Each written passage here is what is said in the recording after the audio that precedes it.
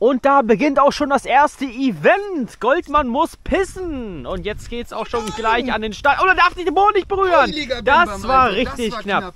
Das war knapp. Fast wäre er ausgeschieden. Die Challenge wäre fast vorbei gewesen für Dave Goldmann. Da waren wir ganz schön rutschig. Du musst in 36 Stunden musst du mal pissen, Extra Mann. nicht. Du musst pissen. Wir wollen das sehen, wie du das anstellst und wie dich anpisst. Weil dieser Wind, der fliegt ja so richtig rum. Guckt mal, wie die Pflanzen sich hier hin und her bewegen. Es ist eigentlich voll lasch. Hier, hier seht ihr das richtig krass.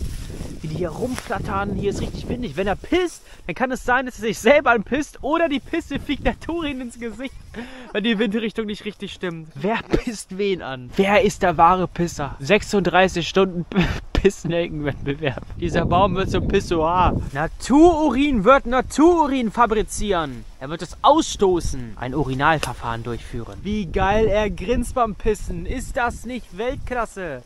Würde die Leuchte nicht sein Gesicht verblenden.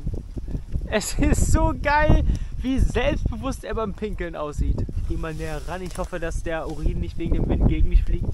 Das tut er tatsächlich. Der fliegt mir ins Gesicht, der Urin. Ohne Scheiß jetzt. Ich habe meinen Bruder angepinkelt. Wegen Wind, also ohne extra. Wegen, das hat der Wind gemacht.